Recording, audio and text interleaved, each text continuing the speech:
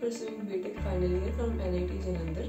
I have recently got an offer from Optum and I am here to share my interview experience.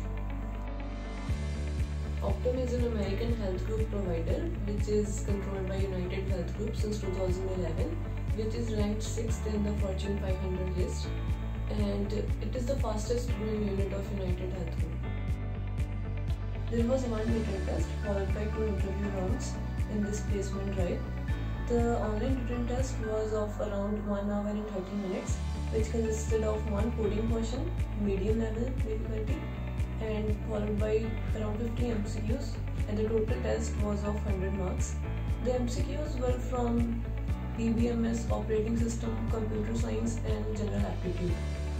And uh, the difficulty level of these MCQs was medium again, and after this uh, online test, 57 students were shortlisted for the next technical interview. Talking about the technical interview, it was conducted on Microsoft Teams, which was around 30 to 40 minutes long.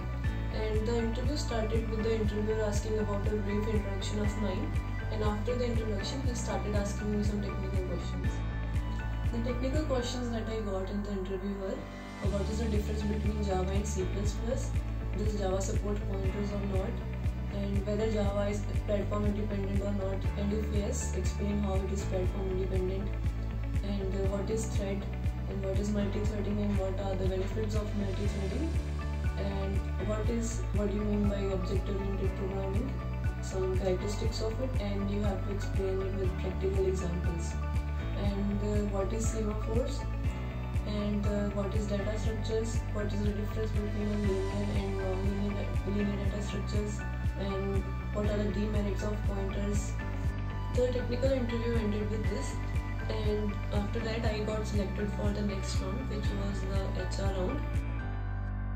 It was a telephonic call, and uh, in the HR round, ma'am asked me some general questions like, "Tell me about yourself. What are your hobbies, and what are your favorite sports?" And it was uh, it went for around 15 to 20 minutes. And at the end ma'am asked me if I have any location preference. And then she explained me about the offices of Optum that are located all over India. And she asked me if I have any question for her which was sure I asked her. I asked her about the what are the roles and responsibilities if I get hired in the company Optum and what are the company's expectations from me as a fresher and ma'am explained me everything very nicely. So with this, the interview uh, process ended and after it 13 students got full-time roles and I was one among them. And talking about my projects, I have done various projects in these four years. Um, some of them are handwritten digit recognition on MNIST dataset and Hindi language detection which was on Devanagari which I have done using machine learning. And uh, there are some React.js projects like the weather app in which I have integrated external API and the restaurant app in which I have developed the front end and a fully responsive website using React.js. And uh, some other projects are like uh, GSM based home automation, which is a Arduino based project in which I have controlled the home appliances with uh, using my mobile phone. So if you aim to crack Optum interviews, I suggest you to prepare data structures algorithms, that uh, database management system and operating system at a very good level. So that's all from my end. All the best for your future.